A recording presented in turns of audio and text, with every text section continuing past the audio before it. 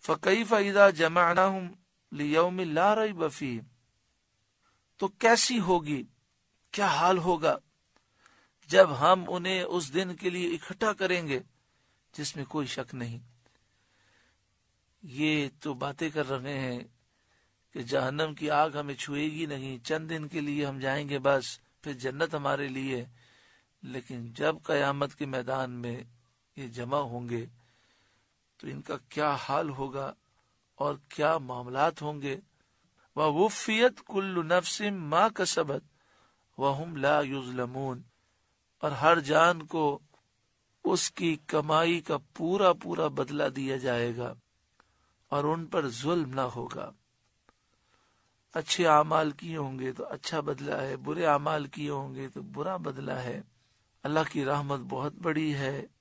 मगर उसके अजाब से भी डरना चाहिए। यूँ समझिए कि अगर कोई शख्स गुनाह करता है तो वो अजाब का मुस्तक है। अगर अल्लाह ताला उसे माफ़ फरमा दे तो वो उसका फजल है, वो उसका इनाम है। कायदा तो यही है कि अच्छे काम का अंजाम अच्छा है, बुरे काम का अंजाम बुरा है। अगर बुरे काम के बावजूद भी कर्म हो जाए तो वो उसका फ़सल है, वो इनाम है। देखिए, दुनिया का कायदा ये है कि मेहनत करेंगे तो रोजी मिलेगी और दुनियावी एतबार से तरक्की करेंगे। लेकिन दुनिया में हम देखते हैं कि बाज लोग मेहनत नहीं करते, फिर भी दौलत के अंबार लग जाते हैं। तो उसको देखकर सब लोग मेहनत तो नहीं छोड़ देते। वो कहते हैं, वो ठीक है, ये तो उस पर फजल हो गया। मगर कायदा तो यही है कि मेहनत करेंगे तो रोजी मिलेगी। हालाँकि अल्लाह तबारक वाली ने हर एक से रोजी का वादा फरमाया कि जो नसीब में रोजी लिखी है, वो ज़रूर मिलेगी। मगर जन्नत का वादा उनसे किया गया कि जो ईमान लाएँगे और अच्छे अमाल करेंगे।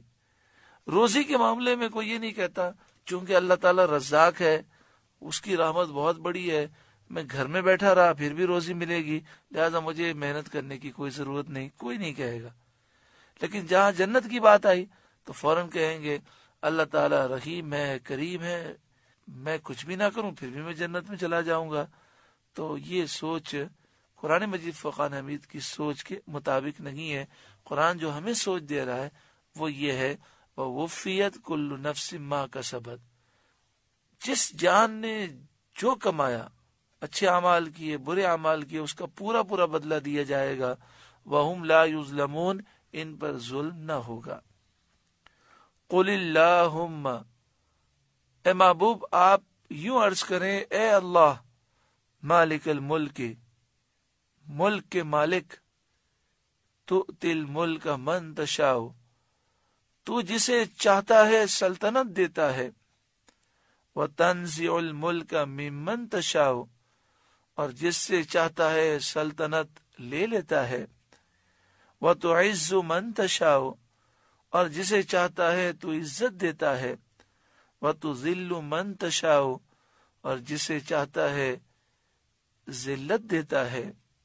बियदिकल खैर, सारी भलाई तेरे ही दस्त कुदरत में है।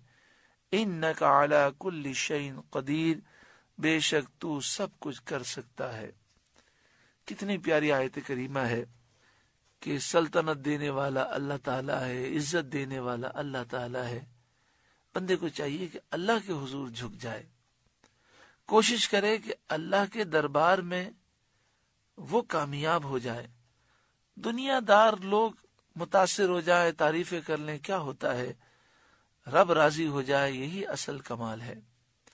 इस आयत का शान नजूल ये है कि फतेह मक्का के वक्त सैद अंबिया सल्लल्लाहु अलैहि वसल्लम ने अपनी उम्मत को मुल्क फारिस और रोम की सल्तनत का वादा दिया।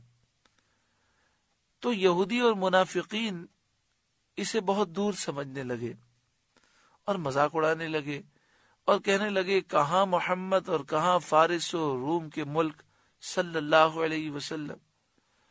और कहने लगे, फारिस और रूम तो बड़े ज़बरदस्त और नहायत महफूज मुल्क हैं। उनकी सल्तनत हुजूर की उम्मत को कैसे मिलेगी?